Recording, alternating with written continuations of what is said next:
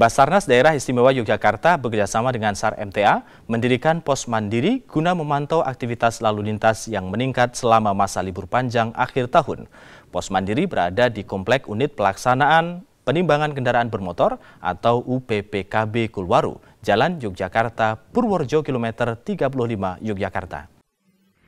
Guna memantau arus lalu lintas yang cenderung mengalami kenaikan selama libur panjang akhir tahun dan tahun baru 2020, Basarnas Daerah Istimewa Yogyakarta bekerjasama dengan SAR MTA mengadakan pos mandiri. Pos mandiri berada di Komplek Unit Pelaksanaan Penimbangan Kendaraan Bermotor atau UPPKB Kulwaru di Jalan Yogyakarta Purworejo kilometer 35 Yogyakarta. Beroperasi sejak 18 Desember 2019 sampai dengan 7 Januari 2020. Ruas jalan ini menghubungkan jalur dari Yogyakarta menuju objek wisata di Kulon Progo dan atau sebaliknya. Di pos mandiri ini disiapkan peralatan yang lengkap sebagai persiapan penanganan jika terjadi sesuatu yang membutuhkan pertolongan.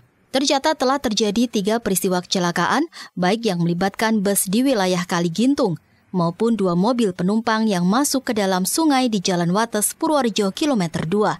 Selain menangani kecelakaan mobil, Kepala UPPKB meminta kepada Basarnas untuk menebang pohon bambu di depan halaman kantor karena mengganggu jaringan primer listrik PLN. Sigit Saryanto SEMM selaku Kepala UPPKB Kulwaru menyambut baik dan memberi apresiasi atas pendirian pos mandiri ini. Di sini merupakan jalur utama yang menghubungkan antara Jogja, Jakarta, Bandung.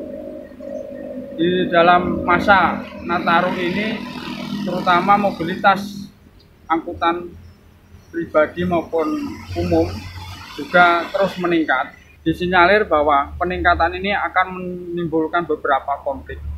Dalam kegiatan ini, SAR MTA menerjunkan 18 orang personil selama tiga hari, yaitu Selasa, Rabu, dan Kamis. Anjas Moro SH, selaku koordinator kegiatan dari Basarnas, menyampaikan terima kasih atas keterlibatan SAR MTA dalam kegiatan ini saya menyampaikan apresiasi mewakili pimpinan kepada saya sampaikan apresiasi kepada teman-teman atau rekan-rekan SAR NTA yang berkenan bergabung dengan kami di posko mandiri.